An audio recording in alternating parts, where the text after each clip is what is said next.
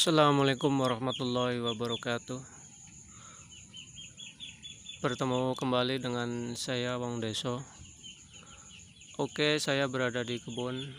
Ini ada Tanaman Sebuah tanaman yang Tanaman ini adalah Tumbuhnya di eh, daerah-daerah atau tempat-tempat yang lembab atau basah Tanaman ini namanya adalah tanaman pandan.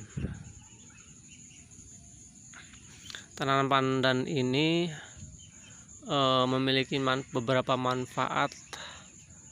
Biasa, biasanya tanaman pandan ini adalah untuk bahan campuran makanan atau cemilan untuk membuat kue-kue bisa untuk bahan pewangi alami yaitu untuk bubur ataupun untuk minuman-minuman es yang apa yang ingin memiliki atau merasakan aroma pandan wanginya pandan sehingga banyak para ibu-ibu ataupun para pedagang yang menjual jajanannya yang berbasis pewangian daun pandan ini banyak yang menggunakannya.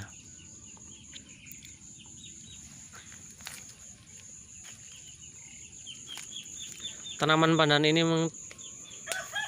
mudah tumbuh di sekitar tanah lembab yang yang cukup mudah untuk tumbuh. Hanya dengan mengambil anak anakannya bisa langsung ditanam dan dengan mudahnya tumbuh subur seperti ini. Ini adalah tumbuh di sekitar eh, daerah yang berair sehingga cepat pertumbuhannya. Fungsi dari pohon pandan, ini tidak hanya untuk aroma pewangi makanan tetapi juga memiliki khasiat yang lainnya. Di antaranya adalah untuk uh, mengobati berbagai penyakit. Misalnya untuk mengobati asam urat ataupun yang lainnya bisa digunakan dengan daun pandan ini yaitu dengan cara empat atau tiga batang daun pandan ini dipotong-potong direbus direbus berapa menit dari buat batang batang daun pandan ini. Direbus selama 15 menit ataupun sampai 20 menit. Lalu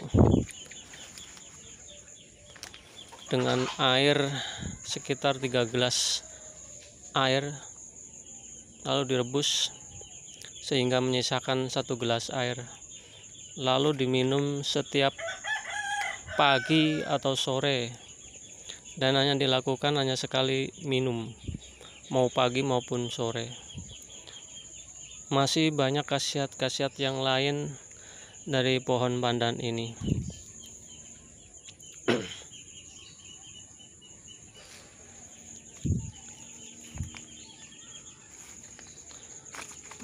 Di antara khasiat ini adalah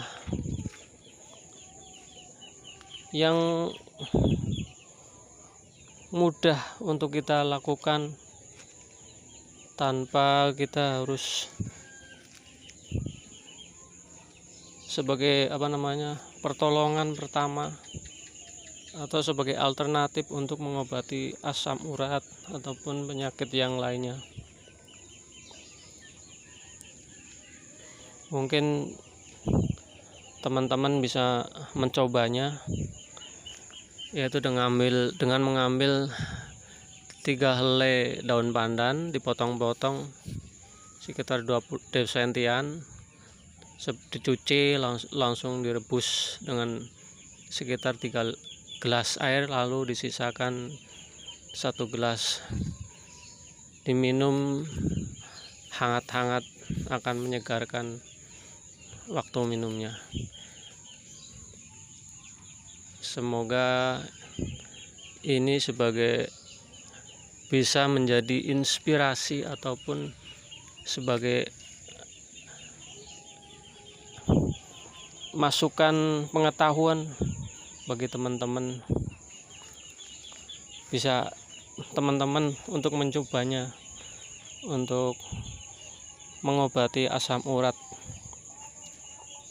Insya Allah dengan alternatif penggunaan secara alami tidak akan ada efeknya insya Allah.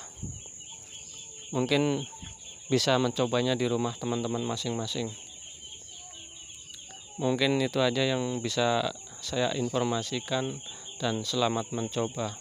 Assalamualaikum warahmatullahi wabarakatuh